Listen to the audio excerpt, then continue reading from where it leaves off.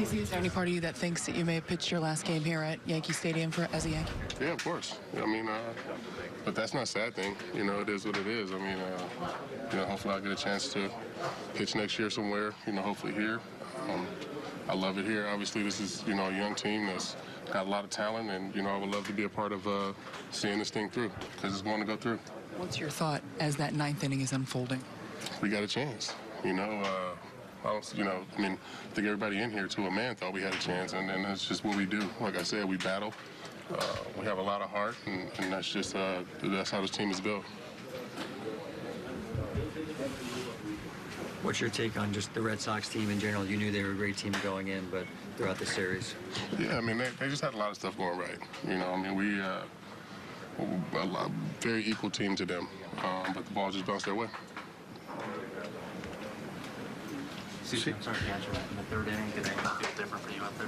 No, no. Uh, I mean, I felt good. My stuff was there. Um, you know, I was a little loose just because I hadn't been out there in a little while, but no, I mean, I felt good. Um, you know, I got no complaints. I mean, they just they hit some soft contact. You know, Kinsler hit that ball hard, but the rest of that was, I mean, I'll take that any day.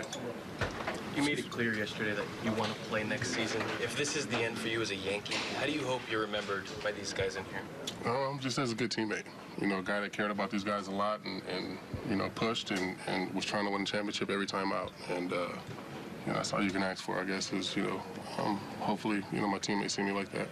With the grit you guys showed in the ninth inning and, you know, winning game two coming back, how disappointing is it now that the season's over? It's always disappointing. Anytime the season ends, it's disappointing. Um, but, you know, like I said, you got to keep going. This is a very, very young team that's got a lot of talent that's going to win the World Series.